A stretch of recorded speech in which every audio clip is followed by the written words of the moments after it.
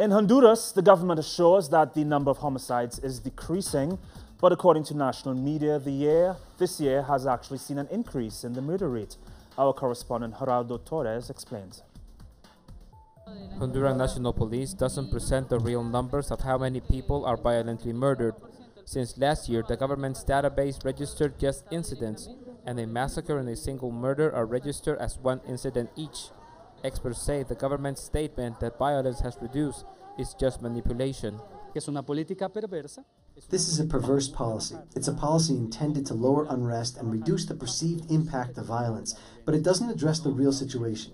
Es decir, manipula. This means that they manipulate the scenario of what is the real impact and of the massacres that have happened more often this year. A massacre is counted as an incident, but it doesn't explain that in that incident, 5 or 12 people were killed. Cinco o doce personas como ha sucedido en el país. The family of the victims of violence demand investigation on the crimes of their loved ones, but authorities underestimate these investigations in an attempt to hide the real numbers and to change public opinion about the violent situation. Not even the deaths of police officers have any follow ups. Pues mi hermana era policía. My sister was a police officer. She was murdered by two men in a bus. The prosecutors and investigators that had the case didn't do any investigation.